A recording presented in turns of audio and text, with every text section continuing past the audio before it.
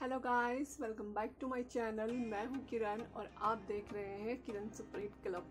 Guys आज से पहले मैंने कभी कोई वीडियो नहीं डाला है। मतलब शॉर्ट वीडियो ही डाली है।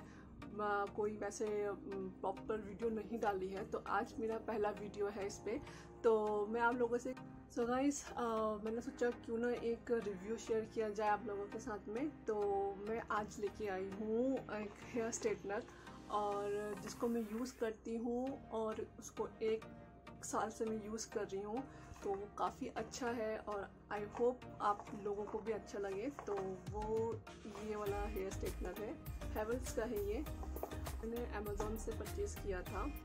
तो फिर दोस्तों इसको ओपन करके देखते हैं। इसको मैंने ओपन कर लिया है और ये इस तरह का है। रेड कलर में है ये। और इतनी लंबी इसकी वायर है। सो तो चलिए दोस्तों, शुरू करते हैं आज का वीडियो और मैं दिखाती हूँ कि मैं कैसे अपने बालों को इससे आयरन करती हूँ और ये कैसे वर्क करता है।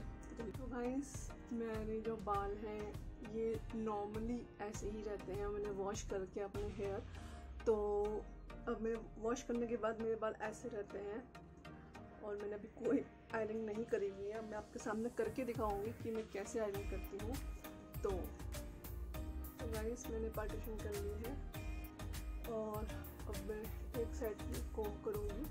कोम करना बहुत ज़रूरी है गाइस पहले आप बालों को अच्छे से उलझा लीजिएगा, उसके बाद ही अपने बालों में आयरन करिएगा। वैसे तो मेरे बाल स्ट्रेट ही हैं बट फिर भी मैं आपको एक बार करके दिखाती हूँ। हमने दो पार्टीशन कर रखे हैं। अब हमें एक पार्टीशन को बाँध के रखना होगा, चाहे हम क्लिप बांधें, चाहे हम रबर बैंड लगा लें। बट मेरे पास में यहाँ रबर बैंड है तो मैंने रबर बैंड लगा लिया है। जिससे कि वो प्रॉब्लम नहीं होगी बार बार मेरे को, और एक साथ बने रहेंगे। और गाइस जब भी आप प्रेसिंग करने, करना शुरू करें, उससे पहले आप हमेशा हीट का हीट स्प्रे आता है हीटिंग स्प्रे उसका यूज़ ज़रूर करें।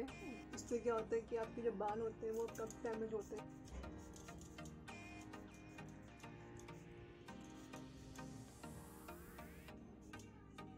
आपके पास में जो भी हीटिंग स्प्रे है, आप उसका यूज़ कर सकते हैं।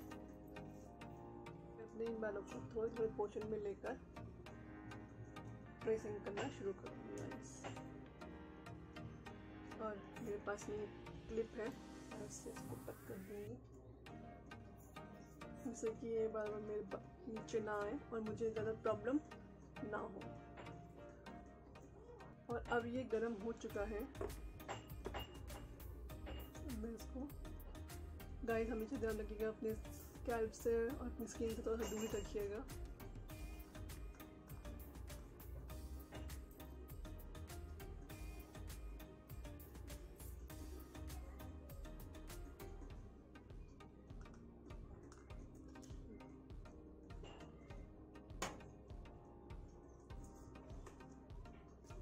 को भी ले लिया है। अब मैं इसको प्रेसिंग करूँगी, पीछे पार्ट को। मैंने पीछे से स्टार्ट किया है गाइस आगे से नहीं किया है।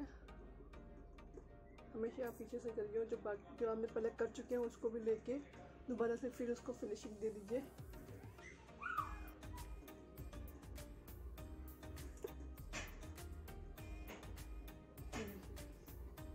अब मैं और बाल लूँगी ऐसे करते करते मैंने इतने बालों को ऑन लिया है और इसको मैं प्रेस करूँगी। गाय पीछे बच्चे की आवाज़ आ रही होगी प्लीज़ इग्नोर करिएगा।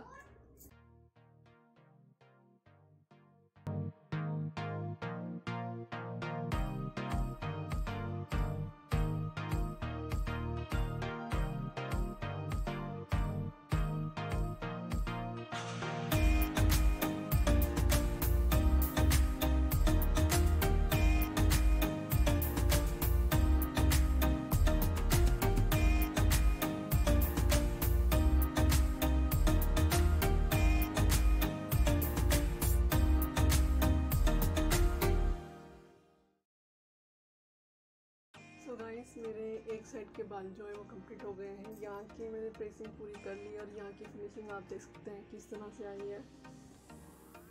और ये मेरे नेचुरल बाल हैं ज़्यादा फ़र्क नहीं दिख रहा होगा क्योंकि मेरे बाल ऑलरेडी स्ट्रेट हैं तो और जिनके बाल काफ़ी कर्ली रहते हैं तो उनके लिए बेस्ट है। तो ये मेरे नेचुरल जो मैंने प्रेसिंग नहीं करे हैं, वो वाले बाल हैं इस साइड के। और ये वाले साइड जो है वो मैंने प्रेसिंग कर लिए हैं। ये देखिए गाइस किस तरह से फिनिशिंग आई है इस हेयर स्ट्रेटनर की और अब मैं इसे करके आप लोगों से मिलती सो so गाइस मैंने अपने दोनों बाल दोनों साइड के बालों को प्रेसिंग कर लिया है आयरन कर लिया है और आप देख सकते हैं फिनिशिंग कैसी आई है बहुत अच्छी फिनिशिंग आई है और प्लीज़ मेरे आगे के बालों को थोड़ा सा अवॉइड करिएगा क्योंकि ये थोड़े से बेबी हेयर है तो ये जब प्रेसिंग करती हूँ उनको तो, तो फिर ये थोड़े से खड़े से हो जाते हैं तो बहुत इरिटेटिंग लगते हैं लेकिन अब क्या कर सकते हैं गाइस सो गाइस अब मैं आपने इसका वर्क भी देख लिया है। अब इसके थोड़े से फीचर्स देख लेते हैं हम लोग। तो ये आपको रेड कलर में आ, मिलेगा। आप और कलर के भी होते होंगे बट मैं रेड कलर मुझे मिला था ये। तरह के बटन है इसमें जो कि आप अगर आप टेम्परेचर बढ़ाना चाहते हो तो आप उससे बढ़ा सकते हो और अगर कम करना चाहते हो तो भी कम कर सकते हो। और नीचे जो है इसमें आपको लॉक करने का और उसको सील करने का जैसे अगर मैं उसको ओपन करूँगी, इस साइड घुमाऊँगी तो ये खुल जाएगा ऐसे करके। और अगर मैं इसको यहाँ इसको लॉक करना हुआ तो मैं इसको ऐसे करके और इस तरह से, इस तरह से करूँगी तो ये लॉक हो जाएगा गाइस और इसकी जो तार है, जो वायर है, वो भी काफ़ी अच्छी दे रखी है, काफ़ी लंबी दे रखी है। तो आप कहीं स्विच में इसको लगा के आप आयरन कर सकते हैं। और टेम्परेचर कंट्रोलर भी है इसके अंदर, और डिजिटल इसमें दे रखा है, जिसमें आपको दिखाया था। और डिजिटल से ये पता चल जाता है कि आप कितने टेम्परेचर पे अपने बालों को आयरन कर रहे हो तो ये इसमें काफ़ी अच्छा प्लस पॉइंट है। उसका लुक भी काफ़ी अच्छा है और इधर भी देखिए काफ़ी अच्छा लुक लगता है इसका। और ये पकड़ने में काफ़ी ब्रॉड है, ज़्यादा छोटा सा नहीं है और गर्म भी ज़्यादा लगता नहीं है। आप आराम से इसको पकड़ के कर सकते जैसे आपने देखा होगा, जैसे मैंने किया था। तो ये ओवरऑल काफ़ी अच्छा लगा मुझे। तो मैं इसीलिए आपको रिकमेंड करूँगी कि आप इसको एक बार ट्राई ज़रूर करें, अगर आप सोच रहे हैं। और इसका लिंक जो है मैं आपको डिस्क्रिप्शन बॉक्स में दे दूँगी दोस्तों। तो जाके ज़रूर चेकआउट करिएगा। तो गाइज़ अगर मैं बात करूँ इसके स्टे रहने की, कि मतलब अगर आप आयरन करते हो तो ये कब तक स्टे रहेगा आपके बालों में। तो ये एटलीस्ट टू डेज़ स्टे रहेगा ही। अगर आप अपने बालों पे कोई भी वाटर नहीं लगाते हो मतलब वॉश नहीं करते हो तो आपके बालों पे स्टे रहेगा। तो गाइस आई होप आपको ये वीडियो अच्छी लगी हो हेल्पफुल लगी हो, और अगर हेल्पफुल लगी है तो प्लीज़ मेरे चैनल सब्सक्राइब करिएगा शेयर करिएगा और लाइक करिएगा दोस्तों। और मिलती हूँ मैं अपनी नेक्स्ट वीडियो में आपसे, तब तक के लिए हैप्पी रहिए हेल्दी रहिए टेक केयर बाय बाय